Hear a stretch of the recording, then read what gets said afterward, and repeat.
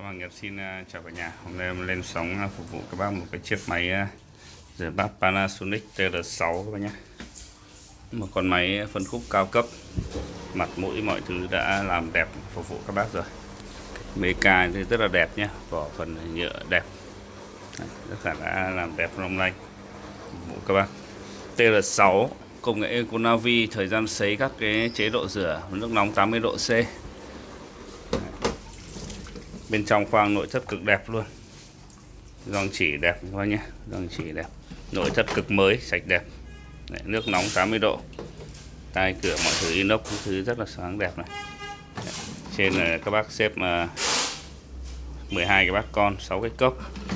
Dưới này là đũa đĩa các bác tô tô, ba tay phun nước nóng khay để bột rửa máy so. Đấy, dòng máy 6 bộ phục vụ cho 6 đến 8 người ăn. Phần lưng con này thì đây, năm 2014 các bác nhé. Phần lưng thì nó hơi bị ờ, anh em sơn nó chưa khô còn ni lông vào một tí, không ảnh hưởng gì đâu.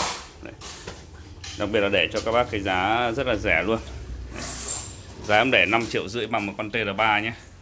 Bảo hành một năm, cực ngon luôn, các bác nào có nhu cầu sút luôn ạ.